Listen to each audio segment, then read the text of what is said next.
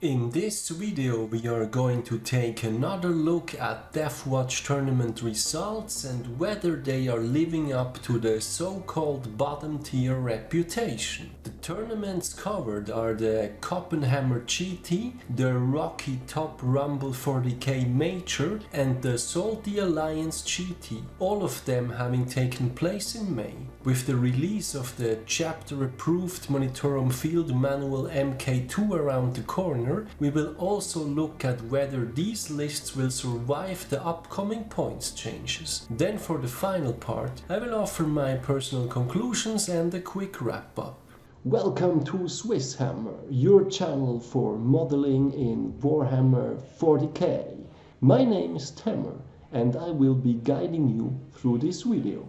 In 9th edition, Deathwatch remains a bit of an enigma. Bad ITC battle dataset win rates, little top table success, and even being rated as bottom tier by a popular news site, Deathwatch has nevertheless scored some impressive tournament results over these last few weeks. I have covered these results and lists in more detail in previous videos, the links are in the description. With this little introduction out of the way, let's have a look at the Copenhammer GT that took place last weekend and end of May. In this relatively small tournament with only 30 players, the undefeated Ultramarines scored rank 1, followed by Necrons and 2 times Chaos on ranks 2 to 4. Niklas Larsen managed to score rank 5 with Deathwatch. Only 2 Drukari made it into the top 10, placing rank 8 and 10. Over the course of the 5 rounds, Niklas Larsen faced the following matchups. Round 1 was a win against Orcs, round 2 a win against the Golden Boys, then round 3 another win against Gene Stealer Cults. Round 4 was the only loss against the undefeated tournament winner, playing an Ultramarine successor list. Round 5 was another win against the dreaded Drukhari. All in all, I think this was an excellent performance, with only the Gene Stealer Cults being a somewhat neglected faction. With the games covered, let's have a look at the actual list. Perhaps somewhat surprising, we have three foot slogging Primaris HQs, the Captain, Chaplain and Librarian with the Xenopurge discipline. As far as traits and relics go, fairly unsurprising, we have the Dominus Aegis relic, paragon of their chapter picking Dark Angels, the Tomb and the Vorken.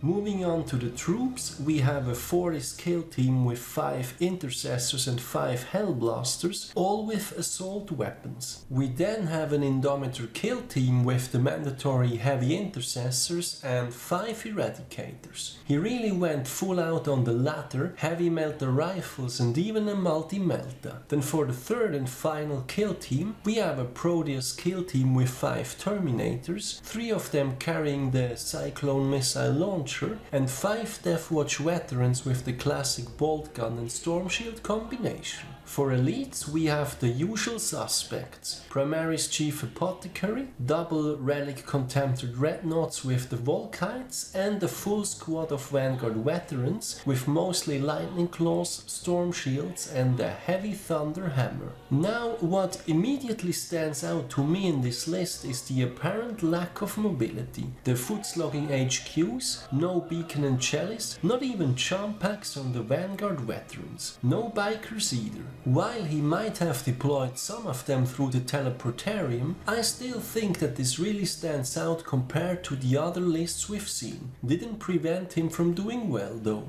As far as the rest goes, I would say fairly commonly seen combos on all the kill teams, then of course the Relic Contemptors, for which he no doubt also picked the Dark Angels Warlord trait. Now, as previously mentioned, with the points changes around the corner, will this list survive? Currently maxing out the 2000 points completely, this list will go up as following. Plus 20 points for the Chief Apothecary, plus 9 points from the Storm Shields on the Van Vets, up to a total of 29 points. That's relatively mild. There are various ways to bring this list back down to 2k points. Could drop Visorator on the Chaplain, could downgrade the Eradicators to Assault Meltaguns, ditch a Terminator and or a couple of Storm Shields. Overall, the list will still work. Moving on to the Rocky Top Rumble 40k Major, this one had 65 players, only one of them playing Deathwatch, ending up on rank 52. I suppose that counts as bottom tier. The matchups were as following. Round 1 a loss against Drukhari, round 2 a win against Salamanders, round 3 a loss against Tau, I almost choked saying that, Round 4, what looks like a free win against Custodes Sister Soup. Round 5, a loss against Death Guard. And round 6, another loss against Archangels. Well, I suppose there was that one win against Salamanders, who are rated like Deathwatch according to ITC stats. Anyway, moving on to the list. For HQs, we have a Xenophage slash Captain with a mastercrafted weapon and picking salamanders from the paragon of their chapter warlord trait. We then have a librarian in Phobos armor with the Xenopurge discipline, though only fortified with contempt and no primorphic resonance. Furthermore, we have a Primaris chaplain on bike, also carrying the beacon and chalice. For troops, we have three kill teams, a Fortis one with five Outriders, an Indomitor one with five Plasma Inceptors, and a Spectrus one with five Eliminators. For elites, we have a squad of 5 Bladeguard veterans, 2 company veterans without any extras, and the Primaris Chief Apothecary carrying the tomb. Last but not least, we have 5 fully kitted Eradicators. Looking purely at the list, I think this should have done better, or at least has the potential to do better with a few tweaks. With the upcoming points changes in mind, here is how I would go about improving it. Chief Apothecary will go up 20 points, Plasma Inceptors will go up 25 points. I would replace one Outrider with an Intercessor to get the infantry bikes, dropping the list by 30 points. Furthermore, I would also exchange an Eliminator for an Infiltrator. This is another 26 points saved with the new points values. This leaves us with 11 spare points, more than enough to upgrade the Aquila Specialism to Dominators for 5 points more. With the remaining 6, he can buy a Storm Shield for one of the company Vets or take a grenade launcher on the Intercessors. Furthermore, I would also adjust the Librarian powers and think about redoing the Slash Captain if that one hasn't been working well enough. Changing traits around or even switching to the biker version might help. All in all, I think that this has the potential to do a lot better. Then for the third tournament, the Salty Alliance GT had no less than 64 players, but again only one Deathwatch, played by none less than Lou Rollins. Much to my dismay, I found him on rank 53, pretty much in line with the second tournament we just looked at. His matchups were as following. Starting strong with a win against Admech, what then followed were 4 defeats against Blood Angels, Tyranids and Death Guard. Looking at the list, for HQs we have a Chaplain with the Beacon and Chalice, and the librarian with the Xenopurge discipline and the Jump pack. Also packing the Tome of Malcador for access to Null Zone and I suppose the Crimson Fist's Warlord trait to go along with having to get up close. For troops we have four Proteus kill teams making use of mixed units. One has a mix of close combat Terminators and Deathwatch veterans with meltaguns and storm shields and one frag cannon. The second one is making use of the infantry bikes by mixing Vanguard veterans with packs and the veteran bikers. I have covered this kind of tactics in more detail in a previous video, the link is in the description. The third kill team is a great example of how to maximize mixed units to their fullest. Aquila Specialism, Black Shield with Heavy Thunder Hammer, a single Terminator with Teleport Homer, a single Biker, two Van Vets, Deathwatch veterans with chainswords and storm shields, and the Sergeant with a mastercrafted Thunder Hammer. That's one hell of a close combat nightmare.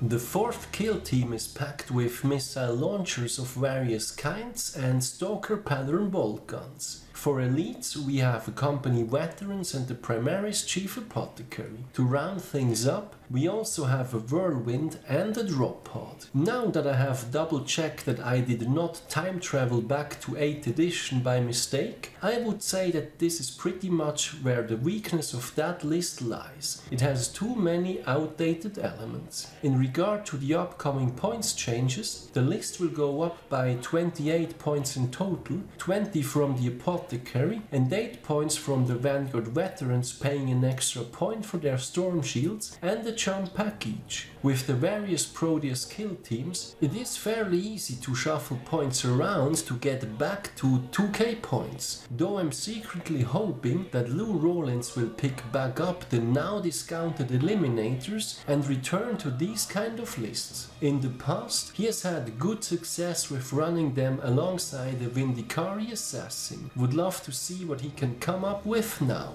To wrap things up, in May, Deathwatch has been showing up at some of the grand tournaments, though in lower numbers than back in April and with various degrees of success. What stands out is the rank 5 at the Copenhammer GT, which was achieved with a Primaris heavy list and against mostly strong opponents. The list featured multiple kill teams that we have seen in one way or the other before. A Fortis kill team with Hellblaster and all assault weapons, an Indomitor kill team team with the mandatory heavy intercessors and 5 eradicators, and the Proteus kill team with 3 Cyclone missile launcher terminators and the usual Deathwatch veterans with bolt guns and storm shields. What stood out in this list was its apparent lack of mobility, like the foot slugging Primaris HQs, no beacon and chalice, or the van vets without the jump packs. But even that did not stop it from doing well. Not directly covered in this video, but also worth mentioning is that Deathwatch has scored rank 2 at the East China Open 2021 tournament with 28 players, linked to the Reddit coverage in the description. On the other hand, we have also seen both a Primaris Heavy as well as an old school list played by a renowned veteran of the game not performing as much as we would no doubt like.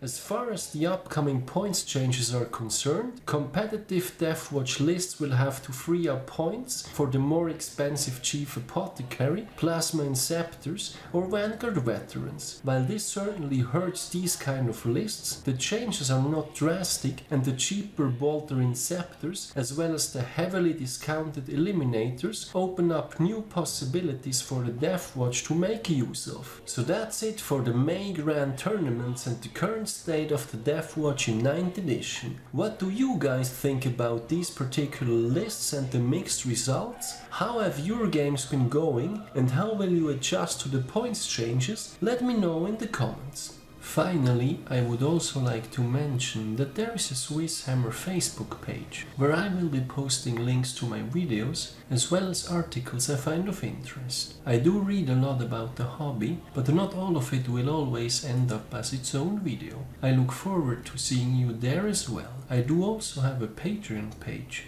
if you like my content, any additional support is greatly appreciated as it helps me invest into future videos. As always, thank you very much for watching guys, your continued support is greatly appreciated. I hope you have been enjoying this video, give me a thumbs up if you did, and don't forget to subscribe if you haven't done so already. Thanks again and see you next time.